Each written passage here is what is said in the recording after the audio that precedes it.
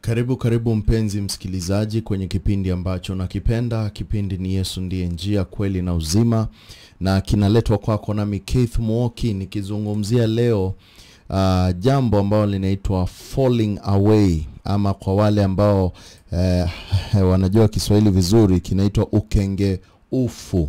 Ukengeufu ambao unakuja wa siku za mwisho, na ningependa tuende moja kwa moja uh, hadi kitabu cha Wathesalonika.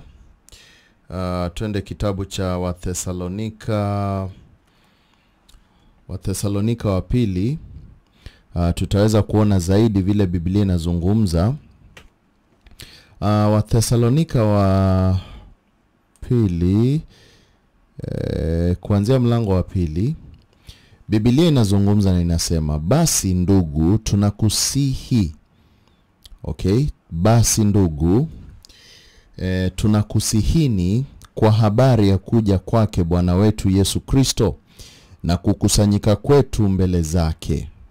Hapa ni Paulo anazungumza, anasema vile anatusihi sisi ambao ni Wakristo, anatuambia sisi ndugu wa Kristo kuna jambo angependa kutuambia, kwa sababu kuna watu walikuwa na hofu, na nataka uone walikuwa na hofu ya nini.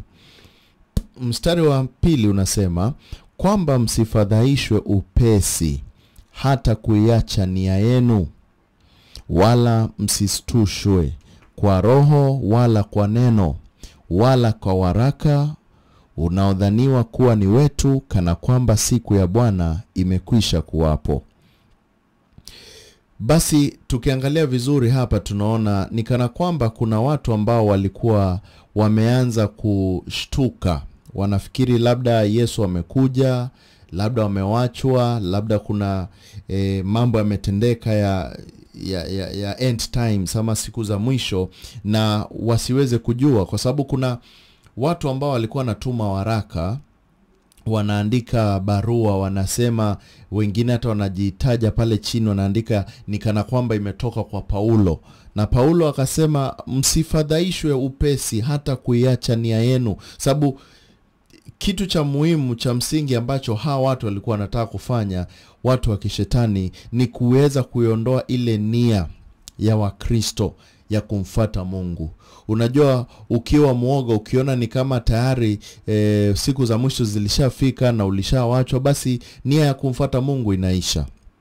Na sana sana nafikiri e, the reason walikuwa anafanya hivi ni ili waweze kuondoa nia ambayo ilikuwa ya Wakristo uh, wa siku hizo na kuweza kuwafanya waachane na mambo ya Mungu na wafanye mambo yao, wakiwa wametumiwa waraka potofu, waraka za uongo ambazo hazikuwa ni za kweli, wala hazikuwa za Paulo, wala hata hazikuwa za watu wengine ambao walikuwa wanazungumza uh, vitu vya kueleweka.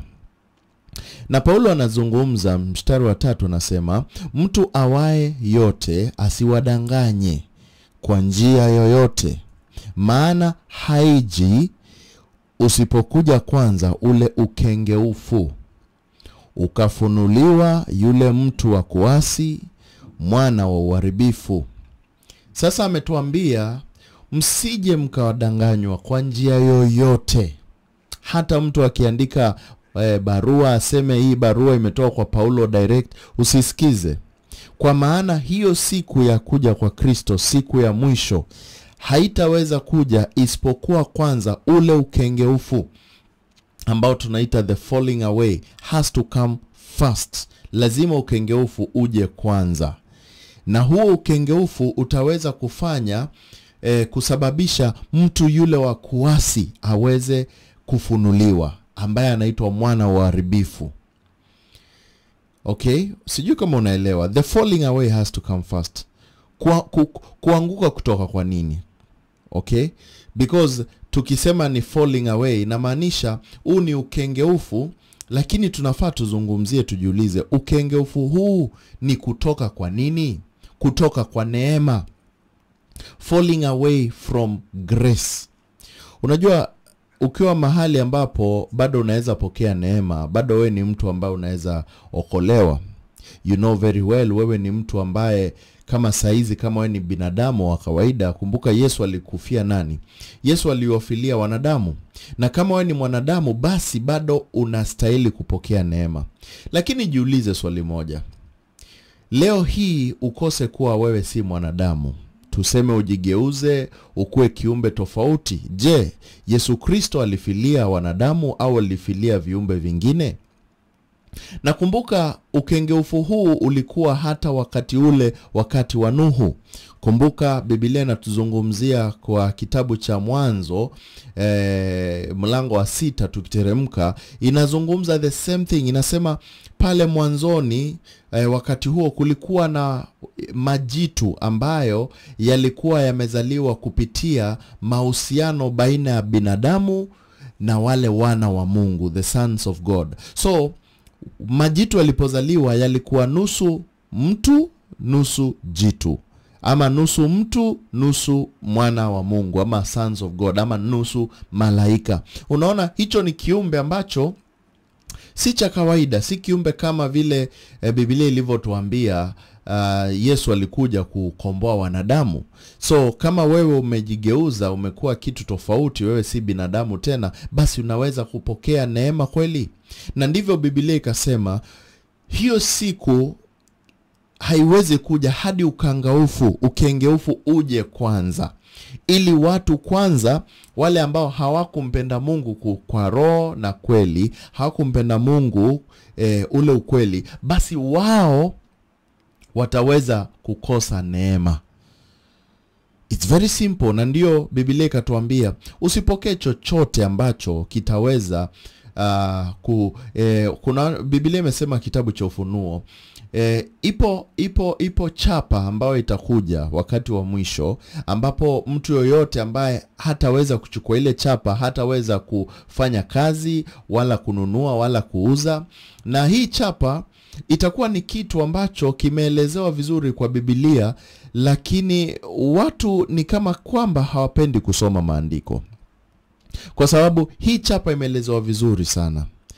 Itakuwa kwa minajili ya kununua na kuuza na kujiidentify na kuweza ku ni, eh, eh, it, itakuwa na vitu ambavyo vina siri nzito ndani yake kwa sababu tumeambiwa itakuwa ni namba ya mnyama fulani ambayo ni ni kama namba ya mnyama ni namba ya mwanadamu lakini huu si mwanadamu wa kawaida ni mwanadamu ambaye aliyepotea unaelewa? Na tunaambiwa mtu yoyote ambaye atapokea hii chapa hataweza kuona ufalme wa mungu tena. Kuna kitu kitakuwa kimegeuka ndani yake. Hivyo kumaanisha atakuwa amepokea kile ambacho kinaitwa ukengeufu ama atakuwa amefall away from grace. Hataweza kukombolewa. Na, na bibilia ikatuambia kuwa makini sana usije ukaipokea ile namba kwa sababu ukipokea ile namba basi itakuwa vigumu kwako wewe kuweza kukombolewa. Na ndivyo paulo akatuelezea hapa lazima kwanza huo ukengeufu uje kwanza halafu huo ukengeufu ukija. Wale watu ambao watakuwa wamepokea hii e, e, chapa ndani yao kumbuka shetani ni roho na mungu pia ni roho. E, watu wa mungu wanakuwa represented na Uh, I mean, mungu anakuwa represented na watu wake kwa sababu yeye ni mungu na ni roho. Kwa hivyo ukiwa na roho wa mungu unaonyesha tabia za mungu. Ukiwa na roho wa shetani kwa sababu shetani pia ni roho basi unaweza kuonyesha zile tabia za kishetani. Na tabia zako za kishetani zitaweza kufunuliwa zionekane. Kama vile sisi ambao tunatembea na mungu tabia zetu za kiungu zinaweza zikaonyeshwa. Na zikionyeshwa sisi kwa kweli waweza sema yule jamaa kweli ni, ni, ni, ni mwana wa mungu. Yule anapenda yesu. Ilhali mwingine ukimwangalia unaweza sema yule naye yule ni mwana wa shetani. Yule anapenda shetani. Tabia zake zinaweza zikamsema. Unaelewa? Kwa hivyo tunaelezewa hapa wataweza kufunuliwa. Huyu mpinga kristo ataweza kufunuliwa. Kumbuka bibilia inatuambia mpinga kristo si mmoja tu peke yake. Kunaye yule ambaye tunaambiwa atakuja yule e, mpinga kristo e, e, e, nini? Yule yule yule ambaye amezungumziwa za sana lakini bado wapinga kristo ni wengi. Kumbuka wapinga kristo ni wengi sana duniani.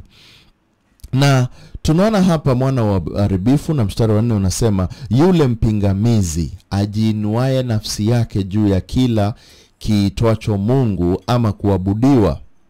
Unasikia? So kwa hivyo anafanya nini?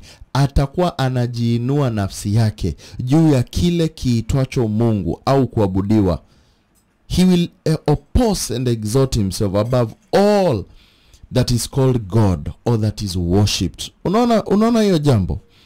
Eh? hata yeye mwenyewe kuketi katika hekalu la mungu akijionyesha nafsi yake kana kwamba yeye ndiye mungu. Now this is very important ndugu zangu. Lazima mwangalie vizuri vikamilifu. Biblia inasema huyu mpinga kristo atakataa chochote ambacho kinaitwa mungu na kujionyesha kuwa yeye ndiye mungu na kutaka kuabudiwa. Na hata yeye mwenyewe huyu mpinga kristo atataka kabisa kuketi katika hekalu la mungu na kujionyesha nafsi yake kana kwamba yeye ndiye mungu sasa nikuulize ndugu yangu dada yangu hekalu la mungu liko wapi? Hekalu la mungu liko wapi? Kwa sababu watu wanafikiri hekalu la mungu ni kanisa mahali ambapo unaabudu kila jumapili. Lakini hekalu la mungu kulingana na maandiko hekalu la mungu ni nini haswa? Ni nini haswa hekalu la mungu? Tunaona vizuri kuwa hekalu la mungu ni miili yetu. Paulo alizungumza akasema nyinyi ndio hekalu la mungu na hekalu la mungu mtu yoyote ambaye atakayeiharibu ile hekalu la mungu naye bibilia anasema naye pia hataweza kuharibiwa. Hivyo kwamba kumaanisha hekalu la mungu its very very important kwetu sisi sote kuweza ku ku, kulitake care ambao ni miili yetu. Tusije tukaweka chochote ambacho ni cha kumdhihaki mungu ili tusije tuka uh, tukamkosea mungu na akatuharibu sisi. Na paulo anazungumza zaidi anasema je hamkumbuki ya kuwa wakati nilipokuwako pamoja nanyi naliwaambieni hayo? Paulo tayari alikuwa ashazungumza.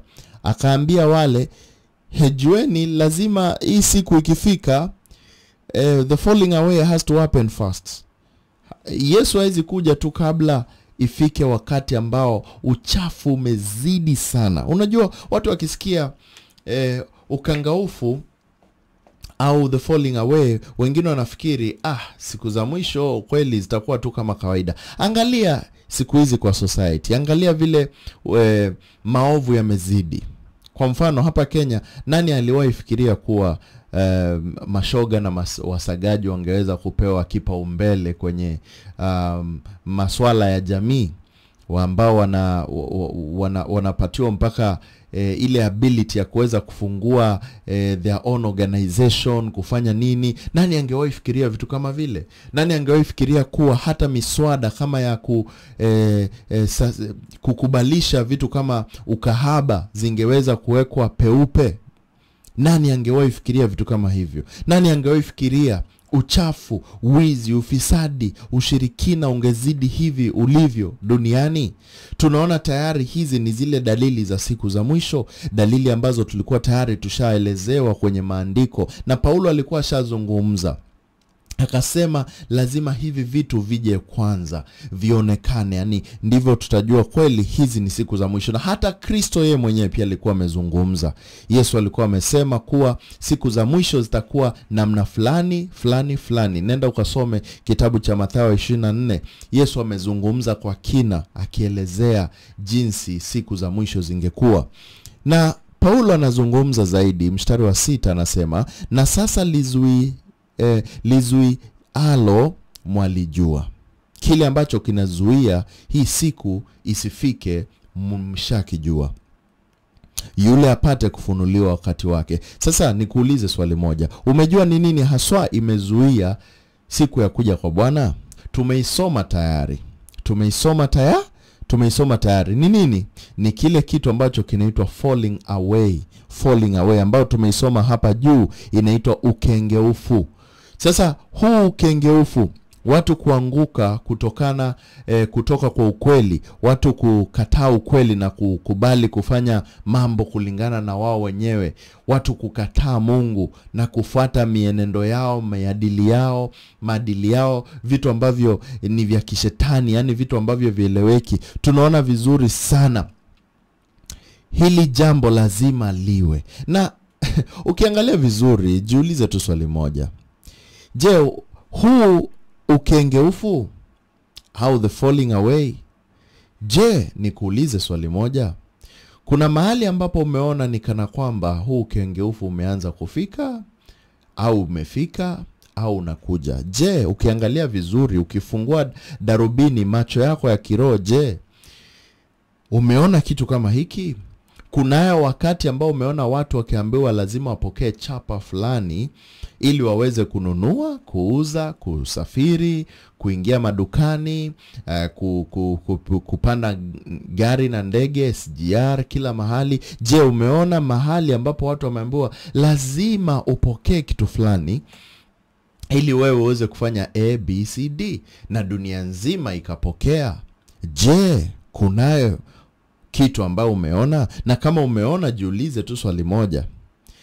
Inaweza kuwa je ni huu ukengeufu ambao tumeelezewa? Lazima ungefika mwanzo. Najua kuna wakristo wengi um, ambao watakuwa na eh, maso, watakuwa na different ideas. Wengine watasema ah, haiwezi kuwa hiyo kwa sababu eh, ile ambayo naona kwa mfano na nikizungumzia kutoka mwaka wa 2020 tumeona mengi ambayo yamefanyika lakini jiulize je kwa haya mambo ambayo alikuwa anafanyika je mojawapo hiyo yaweza kuwa ni ukengeufu ulikuwa unaendelea duniani? Kwa sababu lazima tufungue macho ya kiroho na watu wengi ambao wanapenda huu ulimwengu wanapenda maisha yao wanapenda vitu vya hii dunia. Basi wengi sana walifunga macho na wakasema mimi niko ndani mimi sitaki kusikia watu wanasema nini au nini. Mimi nataka kufanya kazi zangu. Nataka kusafiri. Nataka kula. Nataka kuingia hotelini nile ninywe. Nataka kufanya hii na ile. Mimi hata kama inahusu mwili wangu mimi sitaki kujua. Kwa sababu gani? Ha, mimi napenda haya maisha. Jiulize swali moja na je watu wengi walipopokea hicho ambacho walipokea? Swali lingine ni umeona wangapi ambao kile walichopokea kimewasaidia. Wengi wa wale walipokea saa hizi wana, wana, wana regret. Wengi wanalia wanasema da na, nauliza yani hata nisingechukua hii. Wengine ambao walipokea hicho kitu ambacho unaelewa vizuri ni nazungumzia. Wengi wao pia upendo wao siku hizi ushapoa. Hata ukizungumza naye ni kana kwamba haelewi mambo ya mungu tena. Ukizungumza naye ni kama anaona wewe mtu feki yani ukiangalia kweli upendo wa watu wengi umepoa. Chuki kimezidi kwenye jamii. Sasa je yaweza kuwa huu ndio ule ukengeufu tulioambiwa? Na nitazidi kuzungumza hata hapa mbele zaidi nitazungumza uh, niweze kukuonyesha hata zaidi vile paulo alizungumza. Kwa sababu amesema sasa lile ambalo linazuia siku ya kuja kwa bwana kuja mnalijua. Na tayari mmelisikia. Na kama limefika au linakuja mimi sitaki ku, kuwapa maneno eti ukasema ah wewe umeshatuhakikishia ndo hivyo na ah, lakini funguka macho yako. Funguka macho yako uweze kuona. Aliye na macho ambayo itazama aliye na masikio ambayo isikia yuasikia tu na naja sehemu ya pili ambapo naenda kukuelezea hata zaidi ni, ni kusaidie kufunguka macho kujua siku za mwisho zitakuwa vipi. Na ukielewa haya basi wewe hautakuwa vile ulivyo tena. Usiondoke mpenzi msikilizaji kipindi ni yesu ndiye njia kweli na uzima na kinaletwa kwako nami keith mwoki. Usiondoke keti nami